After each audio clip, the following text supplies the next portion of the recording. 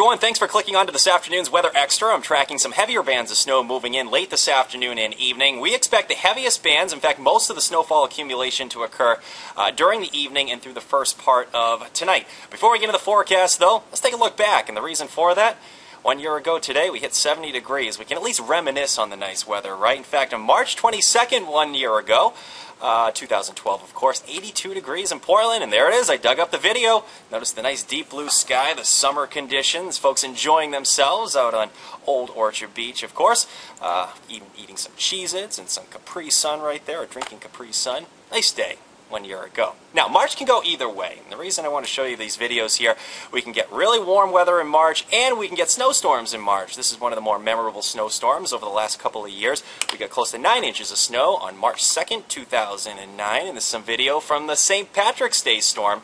Uh, this uh, back in 2007. That was an interesting year. Remember that one? We had the St. Patrick's Day storm, we had the Valentine's Day storm, we had the Patriots Day nor'easter. So a lot of them uh, happened on holidays. And today is actually St. Joseph's Day. Every good Italian wears red on St. Joseph's Day. So today can be the St. Joseph's Day storm. How's that? That storm, of course, we had eight inches of snow in Portland, but many towns had over a foot of snow over the interior. Okay, Doppler HD. As expected, we got into that lull this afternoon with just light snow, and it's sort of interesting. Whenever you get into March, you get the sun angle, which is quite a bit higher. You get that radiation that even filters through the clouds, so any dark surfaces, like roadways, for instance, the snow has a hard time accumulating on. That's going to change as we go through the afternoon and evening. Notice that heavier band of snow moving up through southern New Hampshire and northern parts of Massachusetts. In fact, let's try to zoom right down there if we can. There it is. There's a little bit of uh, rain mixing in there as well.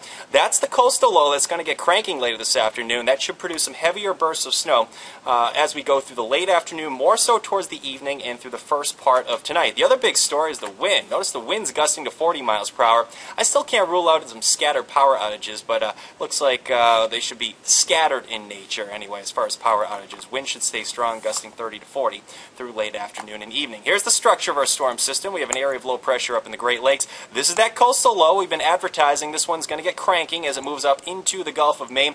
So the worst of the storm system is still yet to come. Many towns will pick up another half a foot, maybe six, seven, uh, eight inches of snow just uh, tonight alone. All right, here we are, 5 o'clock in the afternoon. We're getting into some of those heavier bands. This is a forecast model based on the, the RPM model. Notice that rain snow line's pretty close. That's something I still want to watch along southern and coastal regions. Temps have been slightly above the freezing mark here in Portland, and they should remain that way through early evening. But they will be cooling, and as soon as that happens, we're going to start to see our road conditions deteriorate pretty quickly. Snow bands will become quite a bit heavier. Snowfall rates will be about 1 to 2 inches per hour uh, through the uh, early nighttime hours. This is 7 o'clock tonight. Now, the good news, some of the steadiest and heaviest snow will be moving out by midnight or shortly after midnight. This is 7 o'clock in the morning. We're seeing the last of the snow exiting down East Maine. We're going to see some improvement on Wednesday with a mixture of clouds and sun. It will stay windy on Wednesday, but this time the wind will be out of the uh, west-southwest. So uh, temperatures should be warming into the upper 30s. Uh, as we head into the uh, late week time frame, there's another storm that's going to come close to us. Some forecast modeling is suggesting uh, that we may see a few inches or maybe light accumulations with that one on uh, Thursday night or Friday. Other forecast modeling is suggesting that storm is going to stay too far to our east, so we'll watch it for you. Snowfall accumulation through tonight. Here we are about 8 o'clock. It seems to be pretty much re pretty reasonable. Many towns here around a half a foot of snow, but notice as I put this into motion, uh, notice how those snowfall totals ramp up to many towns probably around 10 inches of snow. This is run off the RPM model, and I can't really disagree with that with some of the heaviest snow moving in tonight. I do think we're on the lower end of some of these totals here in Portland, probably 9, 10, 11, 12, somewhere in there. As you head inland where it stays a fluffier snow, more so back through the mountains, uh, there will be spots over a foot of snow there. There's that seven day forecast. Again, improving weather. We're watching that storm coming close to us Thursday night and Friday. Uh, longer range forecast. Temps warm up a little bit, but overall temps will be nowhere near where they were one year ago this week. That's the way things look. Another update coming up on News 13 live at 5, and of course, updates on the web as well. Uh, we'll see you then. Have a nice afternoon.